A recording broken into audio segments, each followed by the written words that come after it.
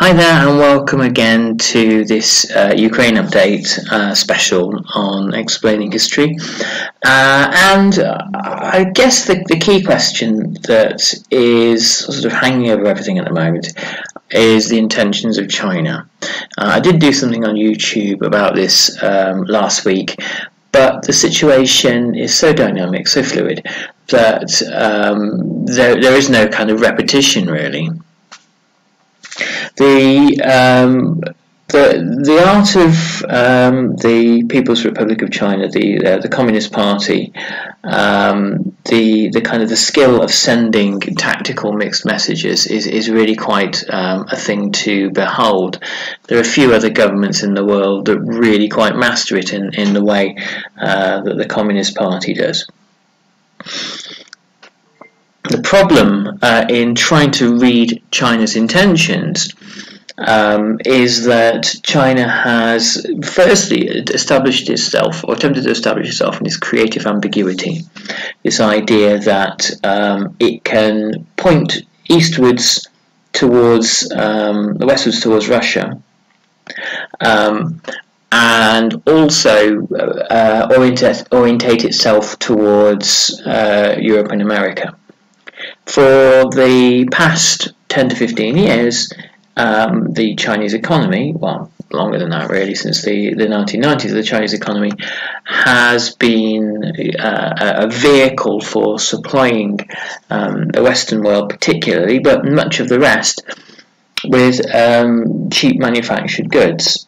Look around your living room, wherever you are in the world, and you will see something that has been made in China, or perhaps most of the stuff there that has been made in, in China. China has optimized its vast um, manpower resources um, to uh, really to kind of transport itself um, into the uh, the 21st century. So a break, a, a fundamental break with the Western world um, on the question of Russia and Ukraine is a, a difficult thing to conceive of, unless, of course, a new iteration of China um, is one that's emerging, one where China is attempting, as it's attempting to do with its real estate industry at the moment, to kind of wean itself off uh, real estate bubbles.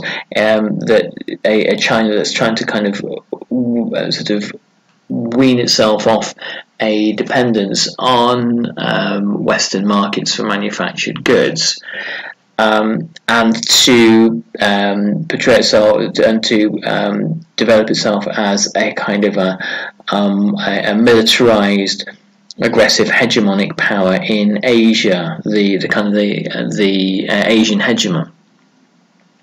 Um, which will inevitably bring it into conflict with um, not just its Asian neighbours, but the United States of America, uh, Great Britain, India, Australia, um, and uh, Japan. The decision to um, have a flirtation, if you will, uh, have a, a kind of um, some sort of relationship with, with Putin, which I'm not sure is quite as strong as as is being suggested. This was based around the idea that Putin would be able to pull off a spectacular victory in the West, in Ukraine, efficiently in a short space of time, uh, and the victory would be so complete and so absolute that there would be no questioning it, no challenging it, and it would shake up the international rules of play. It would shake up uh, the ideas that the international community had about what was currently possible in, in um, the, the, the arena of international relations. It would say to the international community, it's been done once, and there's no reason why it can't be done again the uh, status of Taiwan, which has been protected by Amer American military power since the 1950s um, and has been viewed as inviolable. Um, with a rising Chinese militarism, uh, the, so Xi Jinping's thinking goes, this is no longer necessarily the case. and a, a shake-up in world affairs like Ukraine, like a resounding blitzkrieg victory there, um, that Putin also hoped would um, be uh, received by the Ukrainian people with immense popularity. Putin uh, appears to have sold himself the idea that a Ukrainian invasion and some kind of pan-Slavist uh, reunification of the, the, the great uh, Slavic kind of family um, would be um, rapturously uh, popular. Uh, and I suspect that this is probably the the vision that was sold to China uh, as well. Um, China would be unlikely to have wanted to have backed uh, the current situation that is set to drag on for a considerable period of time and uh, would have um, presented a, a, united front of both um, China and, and, and Russia's enemies. The the difficulty at the moment is that the the plan has not just backfired in Ukraine, but it's black, backfired globally as well. A disunited uh, West, a, um, a Europe and America, such as you find under the, the kind of the era of Trump, um, that where the, the, the, divisions between the two become very stark and very um, pronounced uh, over questions of things like NATO spending uh, and defence policy in, in, general. This has been very much to the advantage of uh, both Putin and Xi Jinping. Uh, and a, a united um, Europe and America, uh, along with the the other powers who tend to gravitate in a, a kind of a Euro-American um, sort of orbit uh, in Southeast Asia and in Australia and New Zealand and Canada and uh, places like that. This sort of unification of the, the, the wealthiest parts of the world um, has been a, a, an epic uh, disaster for Putin. Um, we'll probably see various kind of asymmetric uh, warfare, cyber warfare attempts to uh, break up um, that union as as quickly as possible, or this not so much union, but this kind of solidified um, uh, groupings uh, as quickly as possible. And of course, um, Putin's uh, admirers and um, the, those uh, European politicians on his payroll from the Lega Nord in Italy. Um, uh, all the way through to various of the far right um, parties across Europe uh, and the um, various British uh, political figures who have taken uh, oligarchic money large swathes of the Conservative Party and obviously the uh, former members of the, the, the Brexit Party, uh, such as Nigel Farage, um, uh, who are ardent admirers of uh, Vladimir Putin and have spoken out in uh, in in, in defence of him, are now in a, a, bit of a quandary. The tide has gone out on them. Um, there is no sense of uh, a pro-Putin um, public opinion in Great Britain. There never really was, um, but the um, use of organs like Russia Today to polarize and to kind of accentuate uh, any sort of uh, anti-Western discourse um, has been hu hugely effective. Um, the uh, as uh, Russia Today correspondents have been uh, been pretty candid about their um, their role and, and how Russia Today functions and, and populist figures from um, Farage through to uh, George Galloway and Alex Salmond and people like this in um, have been um, fated by Russia Today. These would have been people who had uh, had uh, kind of very little reach, very little kind of uh, platform um, and very little sort of exposure had it not been their their use to uh, uh, uh Russian uh, essentially psyops in uh, Great Britain and beyond. The um, the difficulty here for the um, the European right, and I and I imagine they will be called into play at some point by Putin uh, when he finds them um, when he needs them.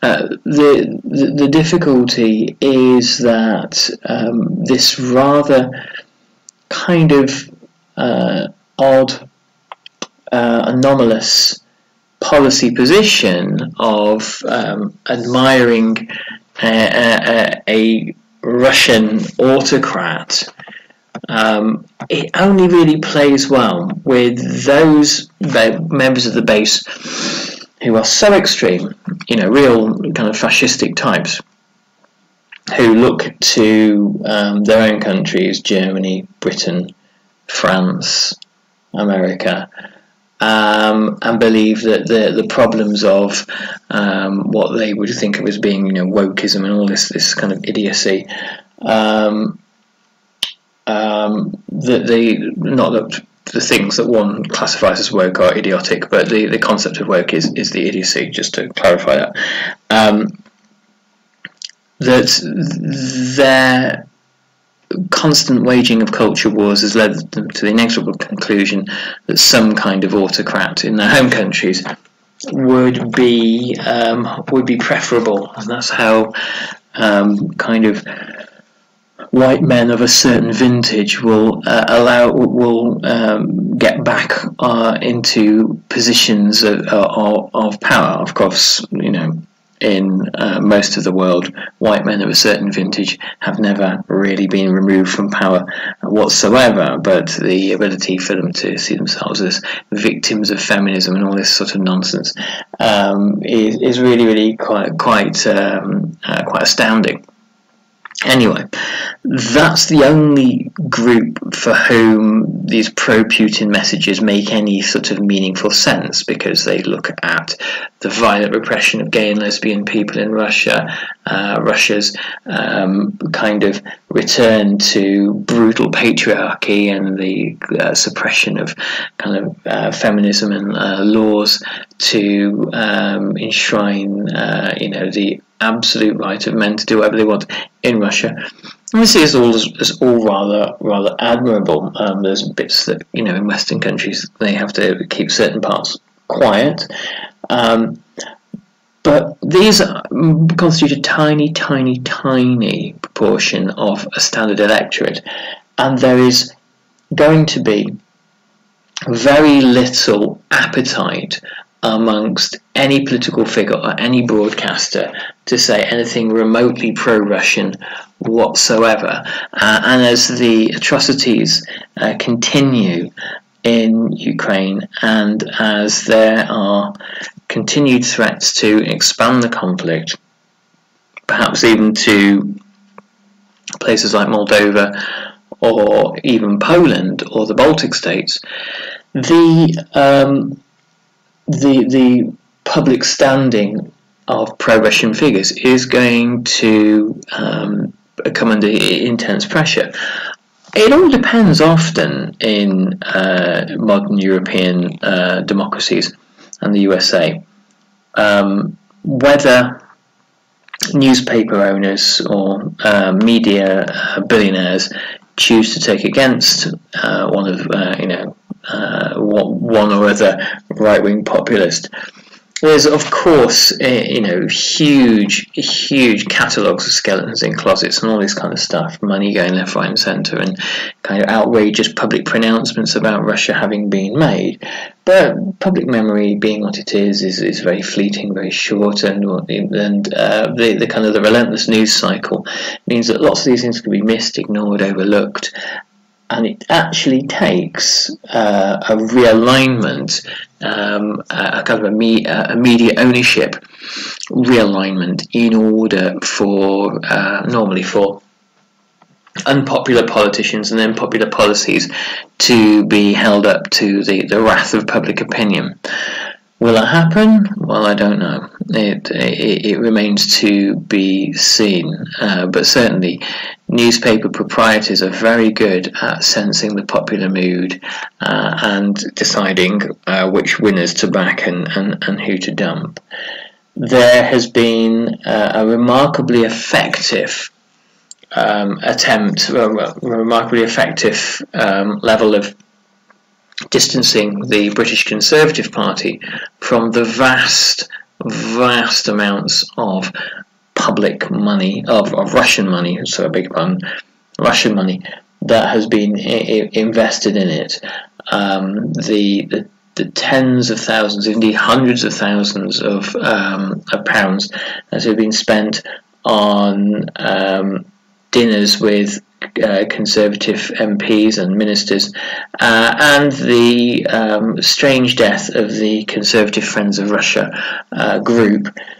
Um, show that there is an, an almighty clean-up job going on uh, at the moment.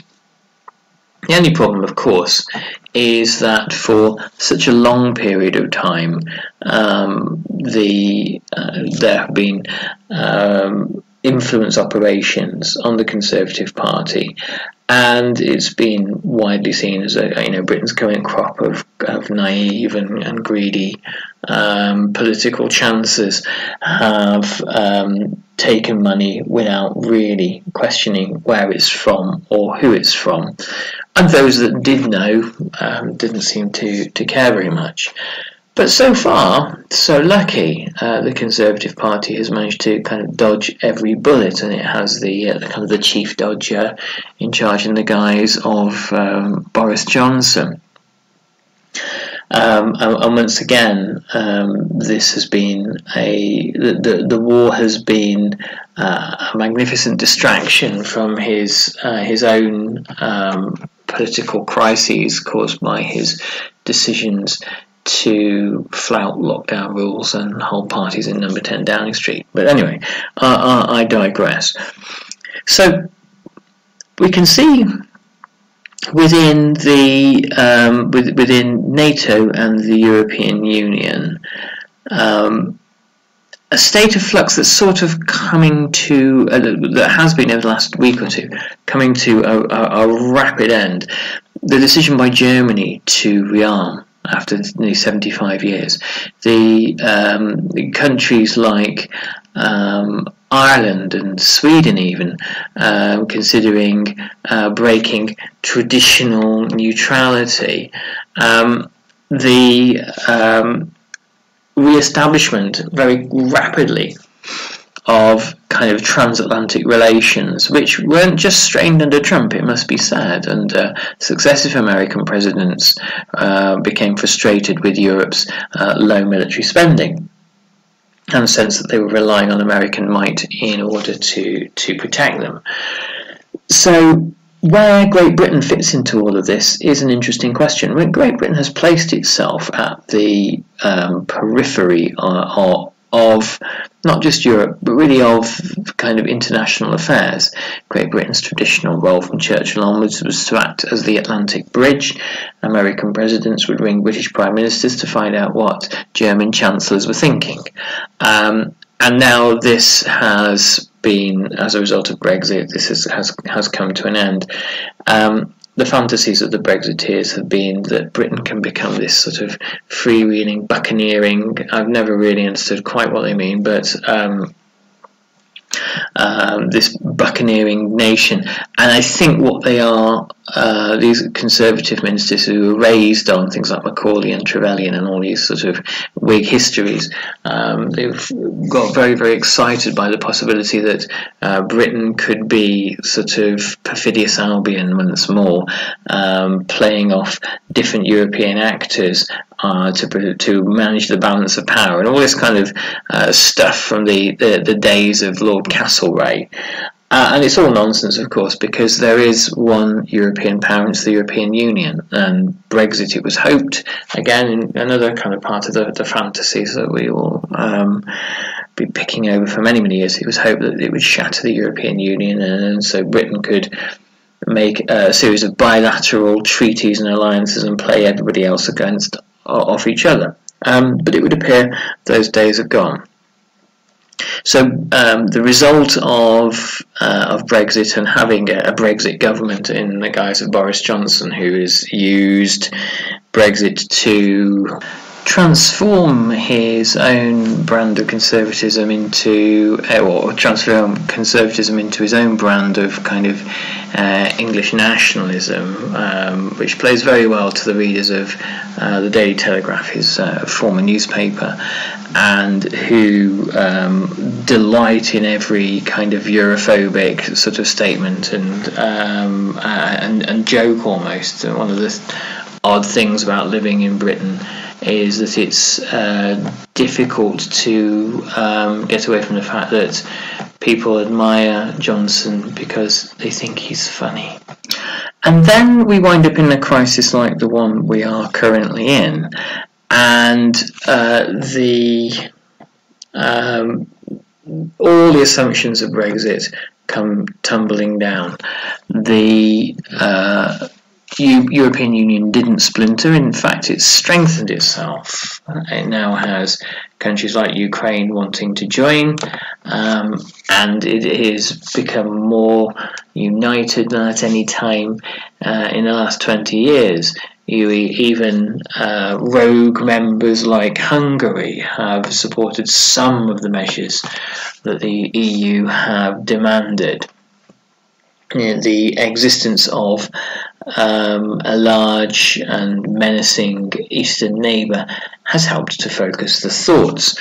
And the um, problem now that Johnson faces, and he no doubt hopes that the British populace are too distracted to, to see, is that he's an isolated figure uh, and that uh, far from being the, the, Churchillian statesman that he, he fantasises that he is, um, though all British prime ministers, I suspect, to some degree, uh, fantasise about being Winston Churchill, um, he is a, a, a, British politician in a position that's kind of unlike any other, any other for several centuries one who is um, really reduced to being a kind of an irrelevance on the international stage.